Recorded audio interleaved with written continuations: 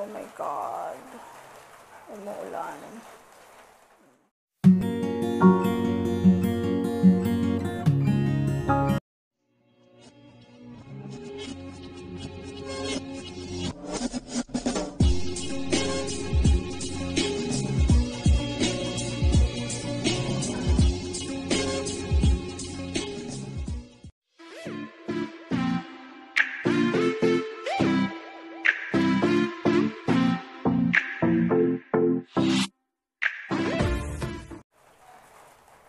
Alam kung naririnig nyo, pero umuulan.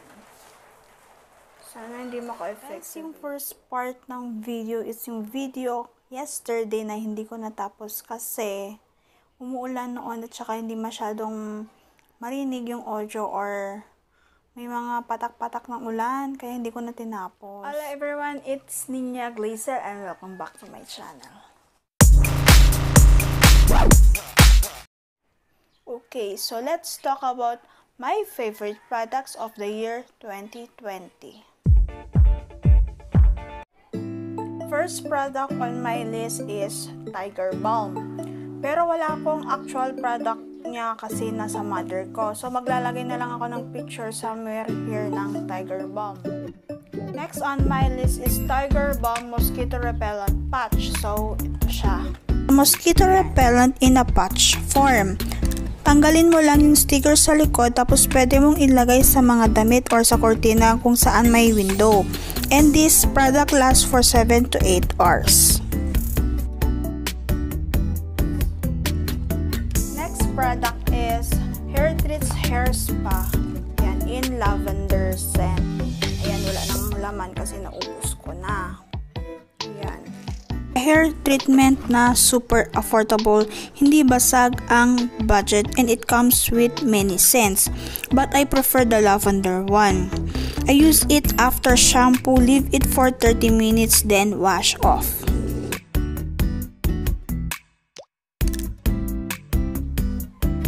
Next product on my list is a skincare product. It is the Sun by Me Miracle Toner.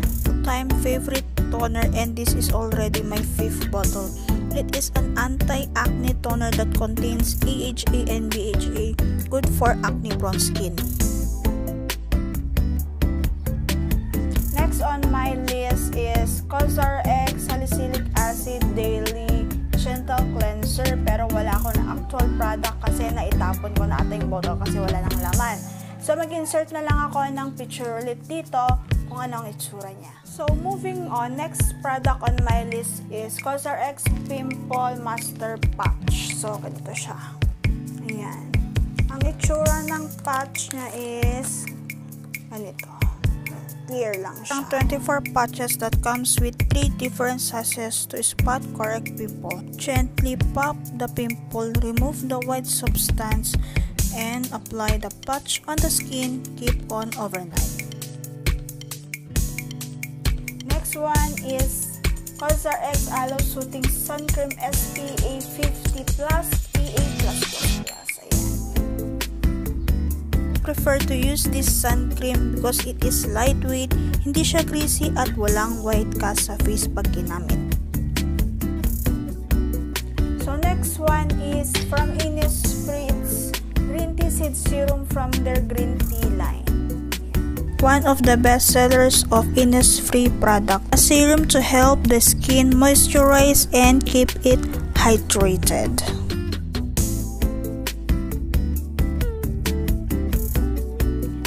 next products from Lucas Papaw Ointment. A product of Australia. Most used product ng mga artista here in the Philippines. So I use it as a moisturizer for the lips, for the mosquito bites, and even burns.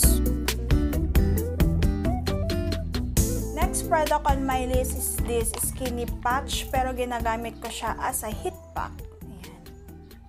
Hindi ko alam brand niya eh. It's Korean. Yan. Lagi ko na lang sa description sa baba kung sa anong brand to tsaka saan ko siya nakuha. slimming pack from Korea but I use it as a heating pack.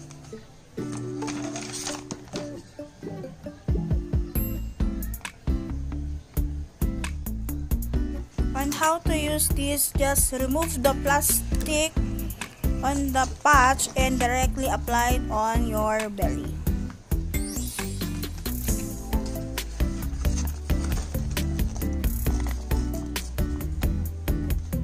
Products from Etude House. Ito ang kanilang My Lash Serum. Ayan. An eyelash serum from Etude House that can help your eyelashes be bloomer. Alam mo yung talagang nagfo-full siya. Ganon.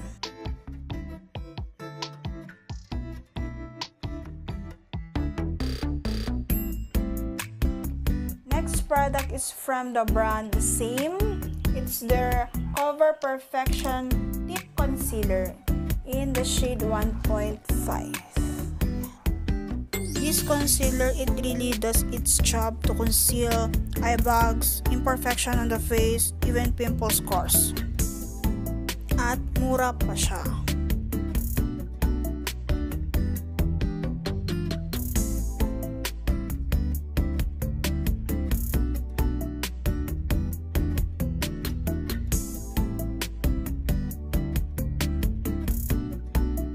List is still on Etude House. It's their Matte Lip Lacquer.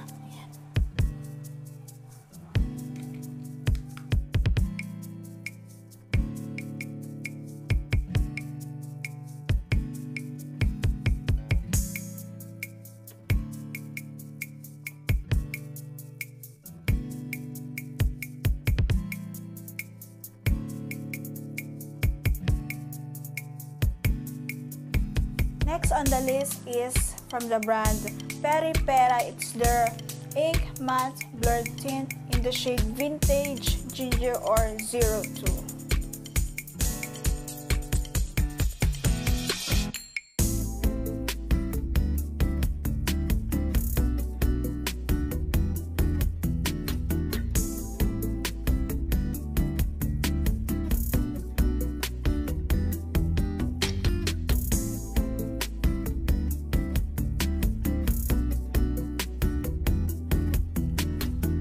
Last product on my list is from the product Still Peri Pera. It's their Ink Velvet Liquid Lipstick in the shade 03.